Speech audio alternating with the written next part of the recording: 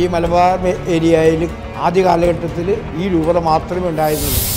ശതാബ്ദി നിറവിൽ കോഴിക്കോട് രൂപത. ഇവിടുത്തെ പിതാക്കന്മാർ ഇവിടുത്തെ വൈദികർ ഇവിടുത്തെ സന്യസ്തരെല്ലാം എല്ലാവർക്കും വേണ്ടിയിട്ടുള്ള വ്യക്തികളായിരുന്നു.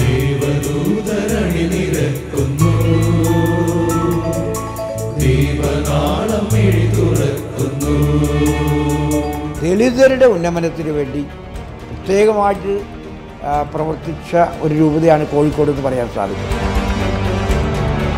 വോയിസ് ഓഫ് ദ ചർച്ച് ഞായർ രാത്രി ഏഴ് മുപ്പതിന് നമ്മുടെ ശാലോം ടി വിയിൽ.